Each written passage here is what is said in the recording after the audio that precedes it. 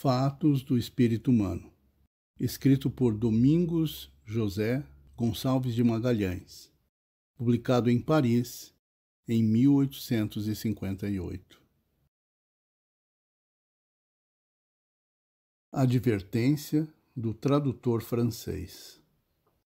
Desejosa por uma instrução profunda e variada, a juventude francesa não se contenta apenas em estudar as produções do gênio nacional, já tão rica em todos os ramos do conhecimento humano.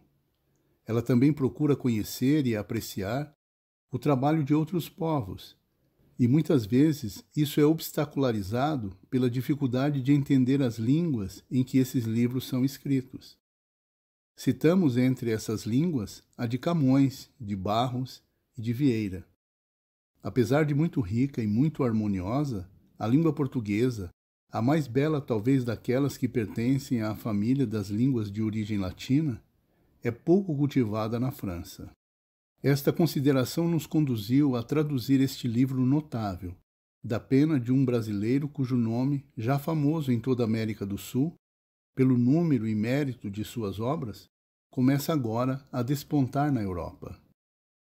O senhor Magalhães ocupa um lugar de destaque na diplomacia de seu país. Ele nasceu no Rio de Janeiro, onde fez todos os seus estudos e onde, ainda jovem, tornou-se conhecido por uma coleção de poemas que o colocou imediatamente entre os primeiros poetas do seu país. Em seguida, ele viajou para a Europa. Depois de seu retorno da Itália, publicou em Paris os Suspiros Poéticos, poesias filosóficas no gênero das Meditações do Senhor de Lamartine, gênero totalmente novo no Brasil, onde ele teve imitadores. Uma das peças mais notáveis desta coleção é aquela intitulada Napoleão em Waterloo, que mereceria ser traduzida em todas as línguas. O Senhor Magalhães também compôs várias tragédias, entre outras, O Poeta e a Inquisição, a primeira tragédia escrita por um brasileiro, e também dotou seu país de um poema épico, A Confederação dos Tamoios, publicado em 1847 no Rio de Janeiro, por ordem de Sua Majestade o Imperador Dom Pedro II, que, grande admirador do talento do autor, fez à sua própria custa uma magnífica edição em grande formato. O Sr. Magalhães publicou ainda muitas outras obras históricas e literárias, e mais recentemente, um pequeno livro, uma obra-prima, Os Mistérios, que foi inspirado pela perda de vários de seus filhos e que demanda, para ser devidamente apreciado, fazer apelo tanto ao coração como ao espírito. E, finalmente, o livro que tem por título Fatos do Espírito Humano, obra de alta filosofia que nós damos aqui a tradução. Um poeta, um filósofo, um escritor tão eminente, pertencente a uma nova nação, como a nação brasileira, cujos produtos materiais nos são mais conhecidos que os produtos intelectuais. Merece ser apreciado e julgado pela França, que vê sua literatura tão bem acolhida no Brasil.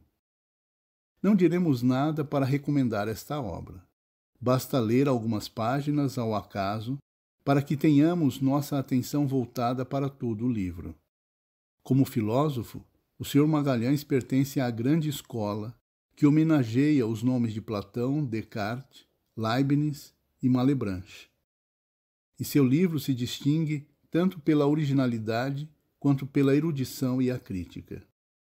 Tivemos de lutar nessa tradução contra grandes e numerosas dificuldades. E nós colocamos em primeiro lugar a própria natureza do assunto. Ademais, a língua portuguesa é tão rica e abundante, ela se mostra tão ousada em suas expressões e torneios, e o autor escreveu o livro inteiro com tanta energia e tanta precisão que às vezes nos foi bastante difícil imitá-lo, não nos restando senão ficar aquém do nosso modelo.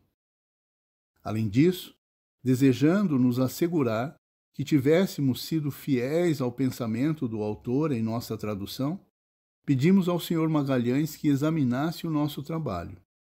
E ele aqueceu ao nosso desejo com tamanha complacência e benevolência que nós lhe testemunhamos aqui a nossa mais sincera gratidão. N.P. Chancel Paris, 1860 Epígrafe O homem é apenas um caniço, o mais fraco da natureza, mas é um caniço pensante. Não é necessário o universo inteiro se armar para esmagá-lo. Um vapor, uma gota d'água é suficiente para matá-lo.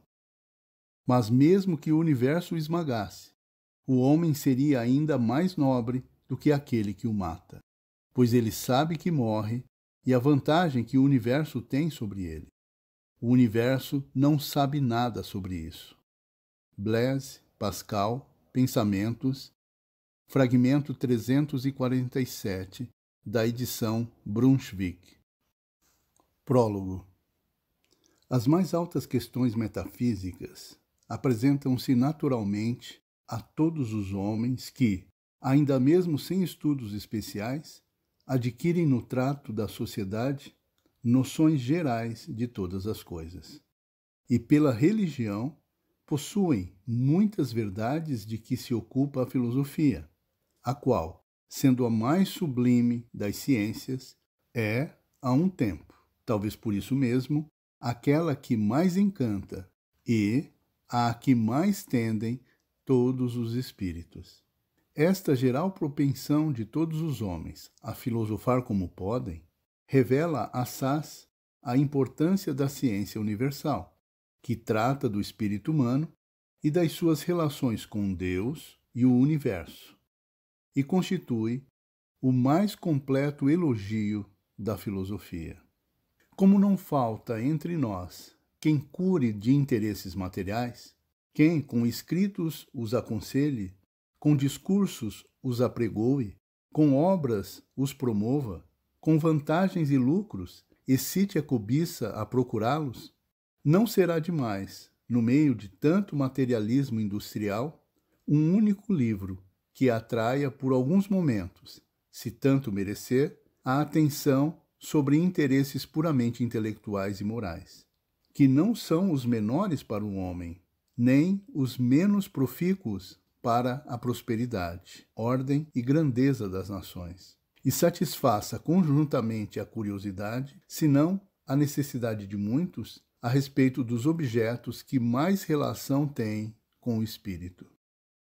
No meio desse labutar incessante, em procura dos cômodos e prazeres da vida, não se esquece o homem dos seus mais sagrados deveres, e que lhe não foi dada a inteligência e a liberdade para se consumirem em serviço do corpo e dos sentidos. Da filosofia dependem mais ou menos todas as ciências, principalmente as morais e políticas, das quais tanto precisa um povo livre, que aspira a tomar um lugar distinto entre as nações civilizadas, o que só se consegue com a elevação da inteligência a tudo que é belo, bom e justo. E todos podem cultivar a filosofia sem prejuízo, antes com muita vantagem de todas as outras ciências e interesses. Animam-nos estas reflexões a dar à luz este livro, em que tratamos de todas as grandes questões da filosofia, expondo as teorias mais acreditadas e aceitas, refutando as que nos parecem contrárias aos fatos e procurando, por um modo diverso do que o fizeram outros, resolver com a maior clareza que nos foi possível algumas dificuldades, sem a menor pretensão de inculcar-nos como autor de um novo sistema filosófico. O nosso único desejo fora que, de acordo, estivessem todos os filósofos sobre os princípios fundamentais da ciência. Mas, nesses princípios mesmos, está a maior dificuldade, e por pequena que fosse a divergência daria matéria a muitas discussões que não se contenta o espírito humano com uma ciência incompleta e com simples probabilidades, senão com a evidência. Neste ponto é o filósofo como o avaro insaciável, que pobre se julga enquanto não possui tudo o que deseja. E quanto mais adquire e entesoura, tanto mais conhece o que ainda lhe falta. E que ambição mais nobre e mais digna do homem do que conhecer-se a si mesmo e as suas relações com Deus e as coisas criadas? E quando não o consiga, tão completamente como anela, é o caso de dizer: Na grande empresa, até a queda é nobre. Acontece às vezes que os mais sequiosos de aplicar-se são os menos favorecidos da fortuna, os que menos podem consultar volumosas obras escritas em línguas estrangeiras. E a muitos até lhes falta o tempo para isso, que não escolhe a sábia providência as condições dos homens para repartir os dons da inteligência e o amor da verdade. Tão oposta é ela aos sistemas dos privilégios que não permite se transmitam os talentos, as virtudes e os vícios de pais a filhos, segundo as hierarquias sociais. Nem estabeleceu a infalibilidade da regra contrária, para não perpetuar outro privilégio em favor do vício, mas faz que, indistintamente, venham uns dos outros, como ao acaso, para que melhor se fraternizem os homens, se vejam todos sujeitos às mesmas contingências, e não se creiam alguns de espécie diferente. Que uns pelos pais, outros pelos filhos, outros pelos irmãos e parentes, iguais são todos, e de iguais bens e males participam. Para esses que menos folgas e ócios têm, que consagrem em longos e dispendiosos estudos, não será de todo inútil este livro, que não é propriamente um compêndio de filosofia, bem longe está de o ser, mas trata discursivamente de todas as suas principais questões e com especialidade daquelas com que mais simpatizam todos os espíritos. Não preveniremos o leitor, expondo aqui em resumo a doutrina deste livro. A surpresa é um dos encantos de quem lê. Se algum douto versado nas ciências filosóficas lançar os olhos sobre estas páginas, achará que não limitou-se o autor a compilar o que leu, que continuamente discute os pontos controversos, sempre expende a sua opinião e, algumas vezes, apartando-se dos seus mestres, se aventura em novas teorias. A única satisfação que temos, relendo estas páginas, é que o nosso modo de pensar, a filosofia que professamos e sempre nos guiou em todos os nossos escritos, é justamente aquela que mais exalta o espírito humano, mais o eleva a Deus, mais moraliza o homem e mais capaz é de tornar-nos melhores na sociedade em que nascemos, e para a qual trabalhar devemos com todo amor e desvelo, como quem se desempenha de uma dívida de consciência, quando mesmo ninguém demande, nem agradeça o pagamento. 5 de junho de 1858